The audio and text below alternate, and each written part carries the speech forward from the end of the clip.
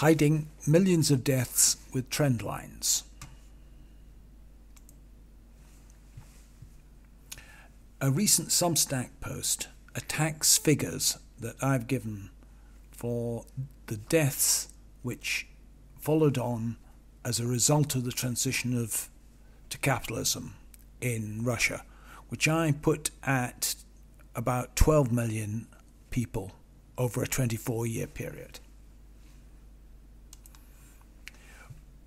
These were originally published in How the World Works and rest on the graph there, which shows a dramatic rise in annual deaths in Russia from 1994 to 1990 to 94, and this higher death rate then persisted.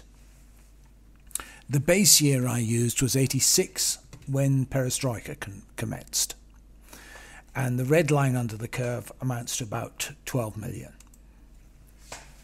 The argument given was that against me was that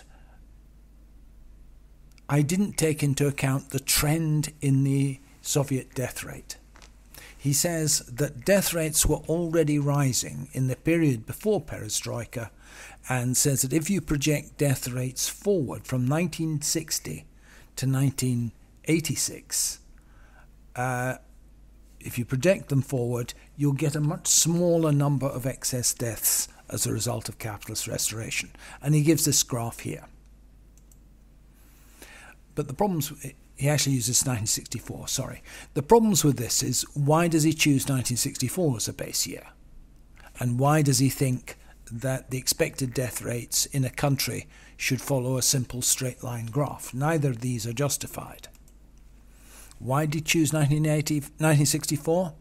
Well, he chose it because 1964 was a year with a very low death rate, and therefore it makes it easy for him to show a rising trend.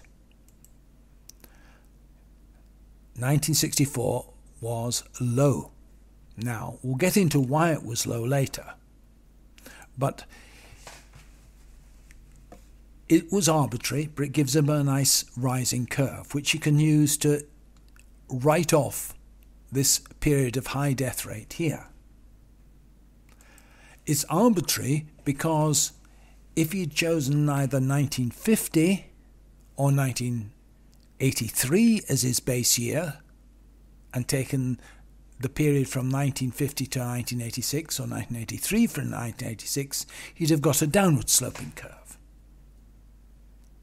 So plotting arbitrary baselines between arbitrarily sto- chosen start dates predicts nothing or explains nothing. The problem is to identify the causes of exactly of actually observed deaths. Why did these deaths occur? Were there demographic or were there social causes for them? The explanation Fabrice Hegeliano gives is that it had nothing to do with social relations or demography, it's just that the Russians drink too much. And he presents a graph of alcohol consumption, which he says is the cause. Russian alcohol consumption fluctuates, and this kills them off. Now, there's no doubt that heavy drinking can shorten your life. So it will be one factor affecting death rates. And if you correlate the figures he gives with the actually observed death rates over the period, there is a 47% correlation. So there is a positive correlation. Not a very strong one, but a positive correlation. But you have to consider drinking as part of the social world the level of alcohol production depends on the economic structure and on social conditions and on social policy. Now, up to 1965, the state didn't increase alcohol production per capita, held it constant. Now, it also happens that during that period the death rate was falling. Now, if his account is uh, adequate, it should have been stable rather than falling. After Kosygin, carried out some measures of economic liberalization and rest- restricted the straightforward direction of the central planning authorities, you got some increase in alcohol production. Then, after 1980, the state started restricting alcohol production again. Uh, so, the amount of alcohol being consumed in the Soviet Union depended on economic policy and on the resources that the state allocated to the alcohol production industry and the quotas it set the alcohol production industry. Once you had capitalist restoration and you had no planning, alcohol production shot up again. So even if we accept his argument that the Russians are all drunks, capitalism is still to blame for the rise in deaths after 1990 because it's capitalism that allowed them as much alcohol as the supposed drunken nature of the Russians wanted. Now, but you then have to ask was vodka consumption the root cause of the deaths, or was the rise in vodka consumption itself an effect of the misery, unemployment, etc., produced by capitalist restoration? If unemployment and poverty increase, people seek relief in drink or drugs. And the same thing has been evident in the USA, where working class life expectancy has been falling.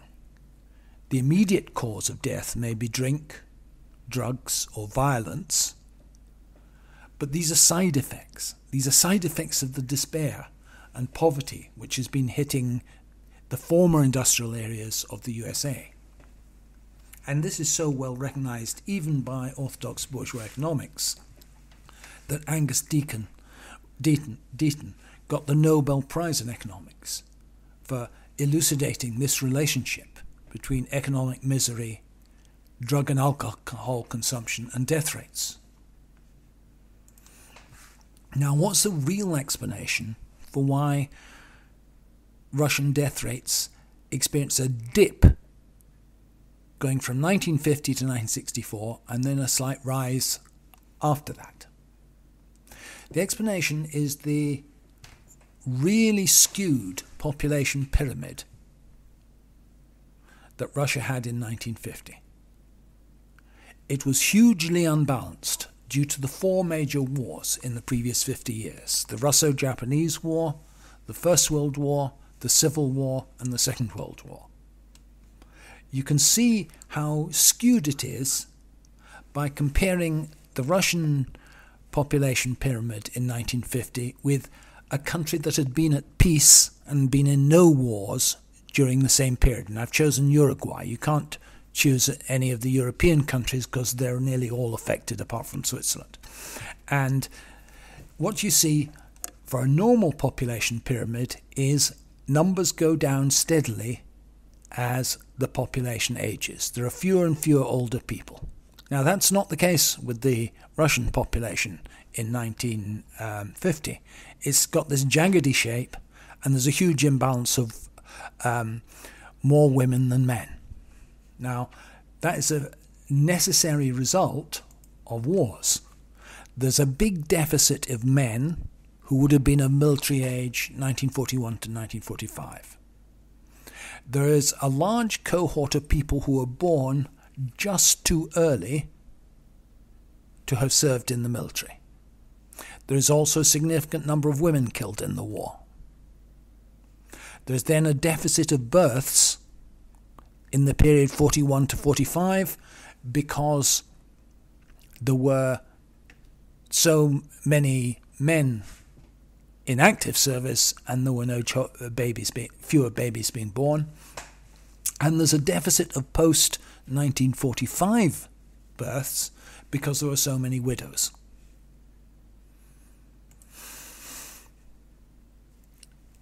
now this population was disproportionately under 25, and people under 25 have a low expected probability of death for the next 20 years.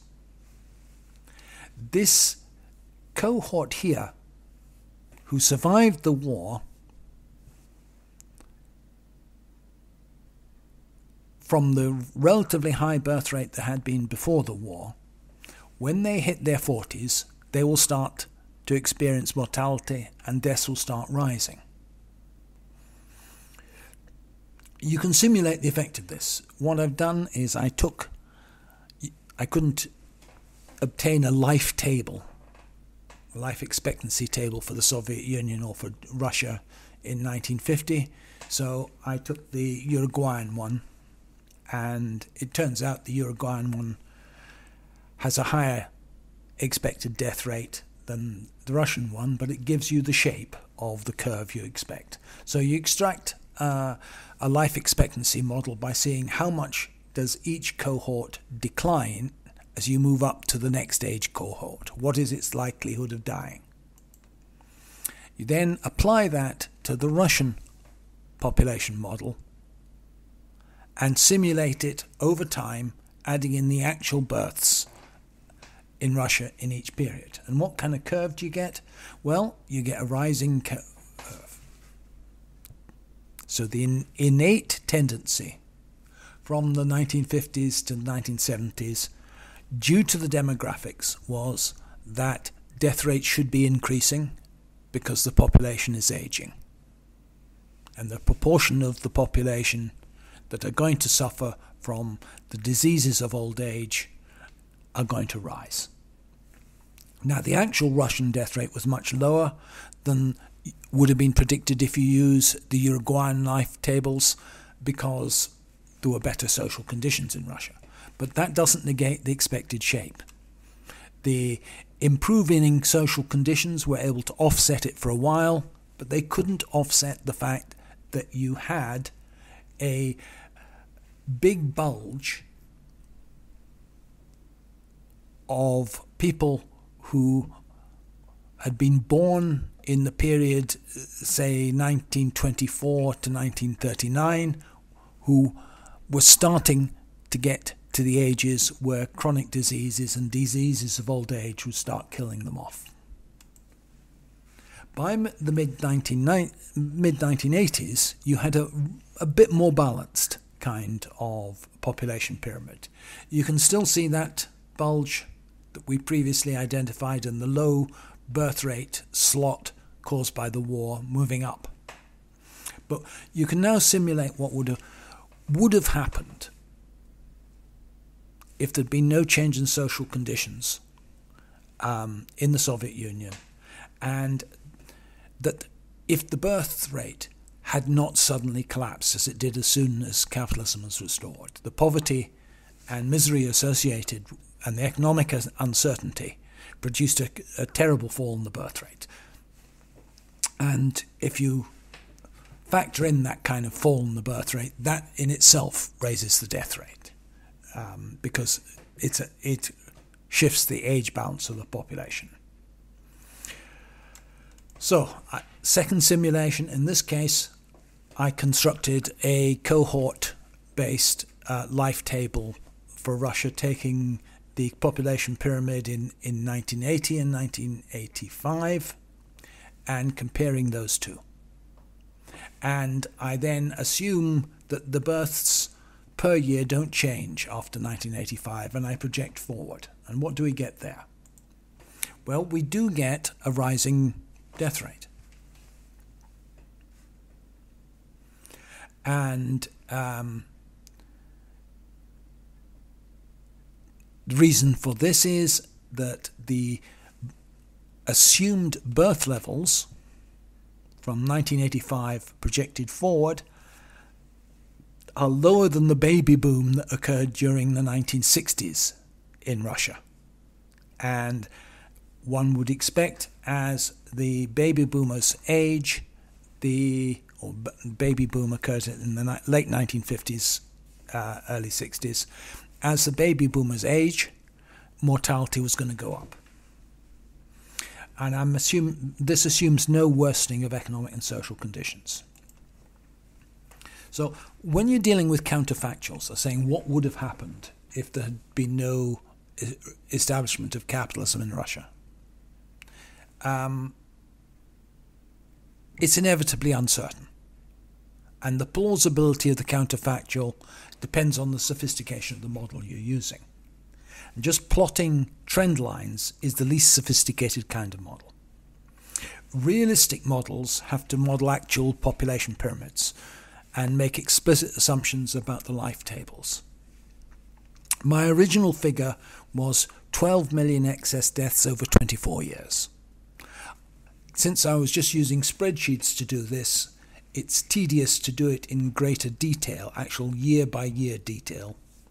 I was doing it in five year slots, and I only did three five year slots of simulation, and I get 5.5 million excess deaths in the 15 years 1991 to 2005. Now, this is not 12 million, but it's a shorter period, and it is still a very large number of excess deaths.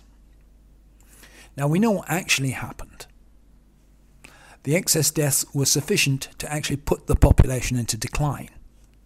Population had been rising throughout the socialist period, then it went into decline. So the excess deaths are not something imaginary. They're there. You can see them. And you can see it also in life expectancy. The peak Soviet life expectancy was at 69 in, in the 1980s by about 2005, it had fallen to 65. So, 15 year period, four year drop in life expectancy. The basic claim that I'm making that there were a huge number of people died, died prematurely as a result of the change to a capitalist economy stands. Whether it was 12 million over 24 years or 5.5 million over 15 years, we can simulate that more in more detail if we had better data. But the basic point that huge number of people died can't be disputed.